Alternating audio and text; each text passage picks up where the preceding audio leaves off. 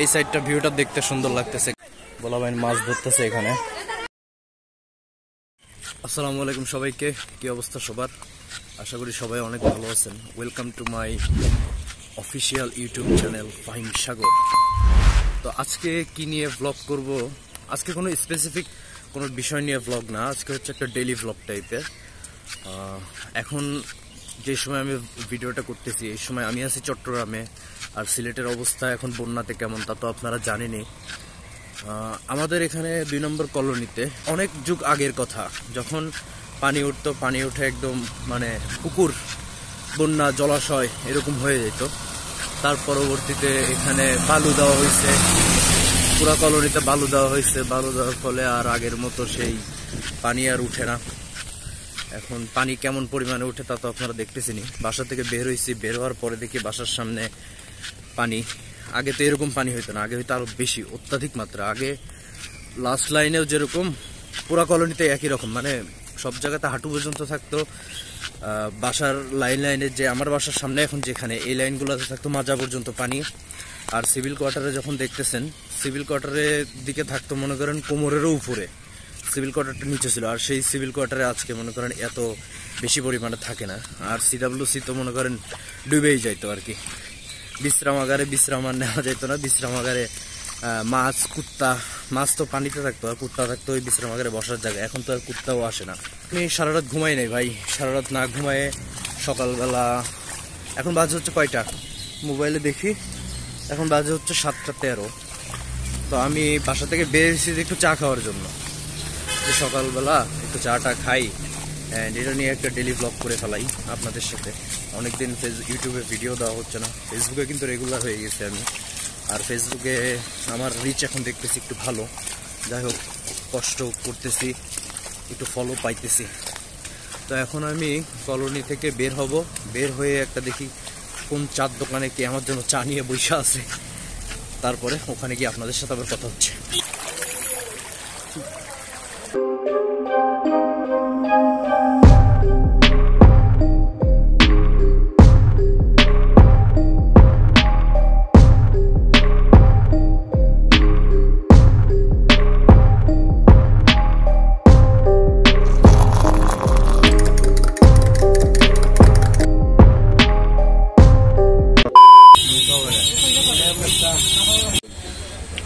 মামার দোকান হচ্ছে আমাদের নেভি হাসপাতাল গেট, যে রেলওয়ে চার রাস্তার মোড় আছে।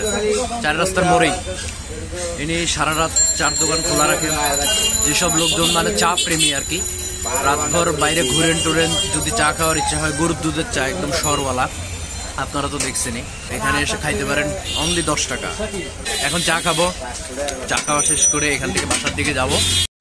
আর এখনও মনে আছে, বছর চারেক আগে যখন এরকম মানে কলোনিটা এত, এই যে বালু ফালানো হয় নাই, নিচা ছিল আরও, তো তখন মনে করেন এখানে এত পরিমাণে পানি উঠছে যে আমাদের নেভি থেকে বোট নিয়ে আসছে বোটে করে মানে আমার বাবা, আরও বাবার সহকর্মী যারা আছে মানে সব আঙ্কেলরা তারা বোটে করে করে বাসার সামনে থেকে গেট পর্যন্ত আসতো দেন গেটের ওখান থেকে বাসে করে অফিস যাইতো। যে নতুন পার্ক এটা পার্ক এটা নতুন বলতে আমার চ্যানেলে এখন পর্যন্ত মনে হয় দেখানো হয় নাই। এদিকে জাস্ট পানি উঠছে একদম পায়ের গোড়ালি পর্যন্ত পানি। প্রতিটা লাইনে এরকম গোড়ালি পর্যন্ত পানি জাস্ট ওই মানে মাঝখানে মেইন লাইনটা বাদে। এই তো হচ্ছে কলোনি মসজিদ এখানে। এই তো এখানে হচ্ছে এদিক দিয়ে মসজিদের পিছনের লাইন আমি এখন এখান থেকে বাসায় যাব, বাসায় গিয়ে একটা ঘুম দিব, যেহেতু রাত্রে ঘুম হয় নাই। ঘুম দিয়ে ঘুম থেকে ওঠার পরে আপনাদের সাথে আবার কথা হবে, কারণ এটা যেহেতু একটা ডেইলি ব্লগ আর নেভির এক্স পার্সন বা কলোনির এক্স বাসিন্দা যারা দেখতেছেন, তারা অবশ্যই কমেন্ট করে জানায়েন আপনারা কোন সালে ছিলেন অ্যান্ড এখন কোথায় আছেন। সো এখন বাজে হচ্ছে সকাল সাড়ে দশটা। ভাবছিলাম বাসায় এসে ঘুমাবো, সাড়ে আটটা বাজে ঘুমাইছিলাম মানে শুয়েছিলাম কিন্তু কারেন্ট ছিল না। আর আমার রুমটাতে হচ্ছে, মনে করেন একটু ব্যবসা গরম লাগে, যার জন্য ঘুমাইতে পারিনি। তো তারপরে আবার আম্মা খিচুড়ি চড়াই দিল। খিচুড়ির গন্ধে আরও ঘুমাইতে পারলাম না, কারণ এমনি পেটে সেই রকমের ক্ষুধা। বাইরে যাই তো জাস্ট চা খাইলাম। একবার খিচুড়ি খাইলাম, সুদা খিচুড়ি। তারপরে দেখলাম যে মুরগি ভিজানো, মুরগি কষায় রান্না করতেছে। তো আবার খাইলা, খাচ্ছি আর কি। মানে তখন অল্প একটু নিয়েছিলাম জাস্ট এমনি একটু মানে টেস্ট করার জন্য একটু নিয়েছিলাম এখন এই যে খাচ্ছি মুরগি দিয়ে আর খিচুড়ি।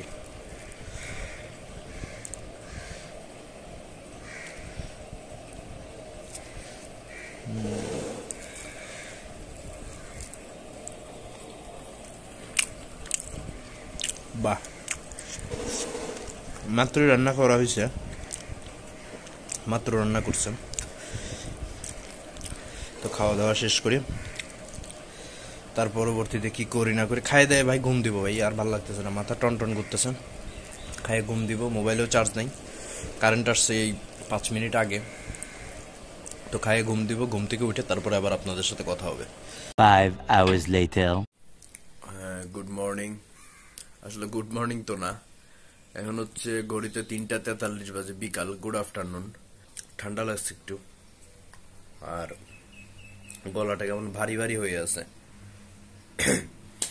এখন ঘুম ভাঙলো। সকালবেলা একটু ঘুমানোর আগে আগে দেখছিলাম যে রোদ হয়েছে। আবার ঘুম থেকে ওইটা দেখি গুড়ি গুড়ি বৃষ্টি। দেখি একটু বারান্দায় যাই দেখি পানির কি অবস্থা। আহ পানি কমে গেছে তো।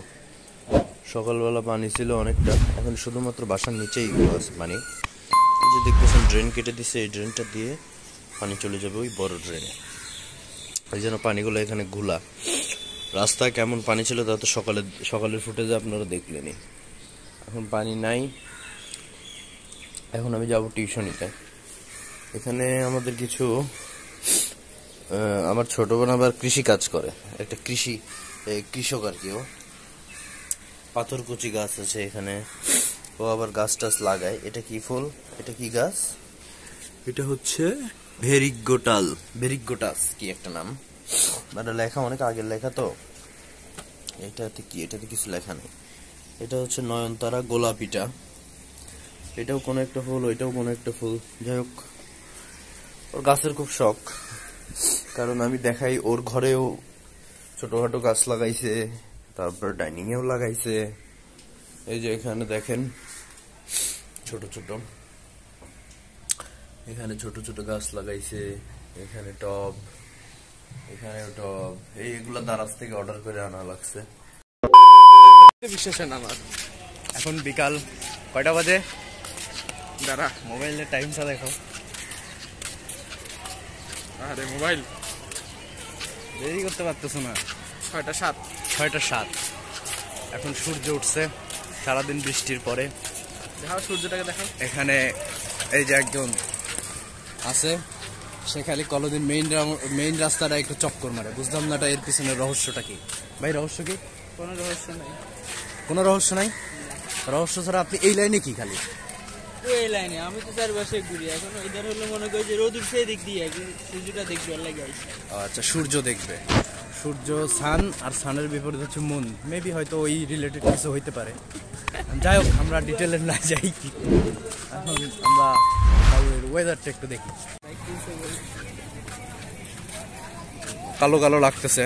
বিকালবেলা একদম ছয়টা বাজে। পোলাবাইন মাঠে ফুটবল খেলে। আঙ্কেলরা বিএমডাব্লিউ ছাতা নিয়ে ঘুরে। এখানে ফুটবল খেলতেছে। এখানে এই সাইডটা ভিউটা দেখতে সুন্দর লাগতেছে কারণ যেহেতু রোদ হইছে বাইরে থেকে ভিতরে আসলাম যে বাসার জন্য পানি আনব। হ্যাঁ? হ্যাঁ আছি ভালো আছি। বাবা ভালো আছেন হ্যাঁ আমি ভালো আছি। তুই ভালো আছিস? কই এমনি ঘুরতেছি? এই বৃষ্টির মধ্যে ছাতা ছাড়া। ছাতা নাই রে গরিব মানুষ। ইউটিউব থেকে আর্নিং নাই তো? এই জন্য ছাতা কিনতে পারি নাই এখনও। আপনারা সাবস্ক্রাইব করে দেন, বেশি বেশি শেয়ার করে দেন। আর্নিংটা একটু আসুক, তারপরে ছাতা টাতা সব কিছু কিনবো। অ্যান্ড একটা বউ নেওয়ারও প্ল্যান আছে, নিয়ে ফেলব হয়তো। যাই হোক, এই বৃষ্টির দিনের এই দিনগুলা মানে আগে খেলতাম আর কি আমরা, মনে পড়ে। এখন বৃষ্টি পড়তেছে, মোবাইলটা ভিতরে ঢুকাই রাখব, কারণ ওয়াটারপ্রুফ মোবাইল না, গরিবের মোবাইল টাটা। বলা ভাই, মাছ ধরতেছে এখানে। আগে আমাদের আলুও মাছ ধরতো। কিরে, মাছ কি কি পাইছস? এই যে মাছ। তুমি ধরো নাই মাছ? বাসায় গিয়ে ড্রাম নিছি, ড্রাম নিয়ে পানি নিতে আসছি, কিন্তু পানি নিতে পারতেছি না, কারণ ওই যে দেখে ওখানে ড্রাম রেখে দিছি আমার পুরো এখানে এখানে এখানে ড্রাম রেখে দিছি, কারণ কারেন্ট নাই আর কারেন্ট না থাকলে আরও প্ল্যান চলবে না। তো অপেক্ষা করতেছি কখন কারেন্ট আসবে তারপরে আরও প্ল্যানটা অন হবে আর তারপরে আমি পানি নিব। তো যাই হোক, ওই দিন বিকালে পানি আনার পরে বাইরে গিয়ে পোলাবেনের সাথে আড্ডা টাড্ডা দেওয়ার পরে বৃষ্টি হয়েছিল, বৃষ্টিতে ভিজছিলাম। মানে ওই দিন ছিল বিশ তারিখ।